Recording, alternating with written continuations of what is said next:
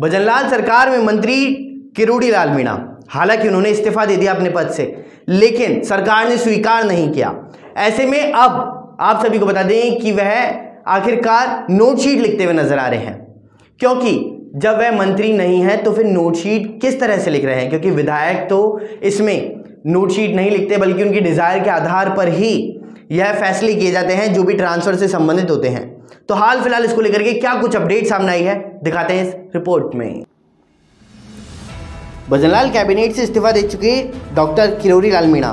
भले ही विभागों का कामकाज नहीं देख रहे हों, लेकिन मंत्री की हैसियत से दूसरे मंत्रियों को लगातार नोटशीट भेज रहे हैं।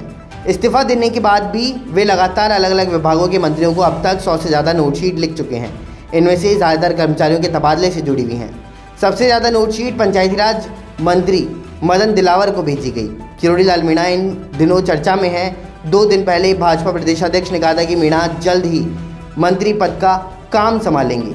वहीं सोमवार को किरोड़ी लाल मीणा ने गंगापुर सवाई माधोपुर में पानी भरे इलाकों का हवाई सर्वेक्षण करने के लिए हेलीकॉप्टर मांगा था, लेकिन अधिकारियों ने मना कर दिया। मंगलवार को किरोड़ी लाल ने कुछ देर के लिए सोशल मीडिया पर कैबिनेट मिनिस्टर लिखा और फिर हटा दिया।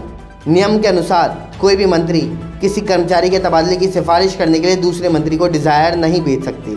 इसके लिए नोटशीट ही लिखनी होती है। विधायक इसके लिए डिज़ायर लिख सकते हैं। किरोड़ी ने शिक्षा व अन्य विभागों में तबादलों की सिफारिश से जुड़ी नोटशीट भी मंत्रियों को भेजी है। फ़िलहाल देश और दुनिया की तमाम बड़ी खबरों के लिए ही। बने रहिए हमारे साथ। नमस्कार।